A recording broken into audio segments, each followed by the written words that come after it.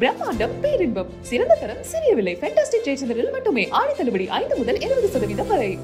ஊழல் வழக்குகளை சந்தித்தாலும் திமுகவுக்கு எதிர்க்கட்சிகள் நற்சான்று வழங்குவதாக பிரதமர் நரேந்திர மோடி குற்றம் சாட்டியுள்ளார். போர்ட் பிளேரில் வீர் சவர்கார் விமான நிலையத்தின் புதிய முனையத்தை காணொளி மூலம் தொடங்கி வைத்து பேசிய பிரதமர் நரேந்திர மோடி ஊழலை ஊக்குவிக்கவே எதிர்க்கட்சிகள் ஒன்று கூடி உள்ளதாக விமர்சித்தார்.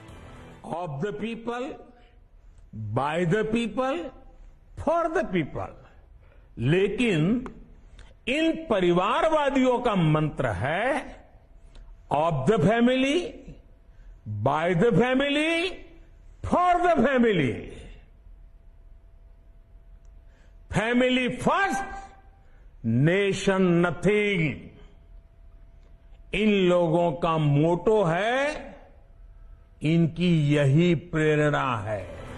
பெங்களூரு கூட்டத்தில் எதிர்க்கட்சிகளின் தலைவர்களை ஒன்றாக பார்க்கும் மக்கள் ஊழலின் குறியீடு போல இருப்பதாக கூறுகிறார்கள் என்று தெரிவித்த பிரதமர் எதிர்க்கட்சிகளின் கூட்டம் உச்சக்கட்ட ஊழலின் ஒருங்கிணைவு என்றார் आप तमिलनाडु में देखिए भ्रष्टाचार के घोटाले के अनेक मामले सामने आ रहे हैं लेकिन इनके कुनबे के सारे दलों ने पहले ही सबको क्लीन चिट दे दी है इसलिए इन लोगों को पहचाने रहिए साथियों उनको जान लीजिए எதிர்க்கட்சிகள் நாட்டின் ஏழை மக்களின் முன்னேற்றம் பற்றி கவலைப்படுவதில்லை என்றும் தங்கள் குடும்பத்துக்காக ஊழலை அதிகரிப்பதே எதிர்க்கட்சிகளின் குறைந்தபட்ச திட்டம் என்றும் பிரதமர் மோடி விமர்சித்தார் ஏற்கனவே போபாலில் நடைபெற்ற பொதுக்கூட்டத்தில் திமுகவை நேரடியாக விமர்சித்திருந்த பிரதமர் மோடி தற்போது போர்ட் பிளேர் புதிய விமான நிலைய திறப்பு விழாவிலும் கடுமையாக விமர்சனம் செய்துள்ளார்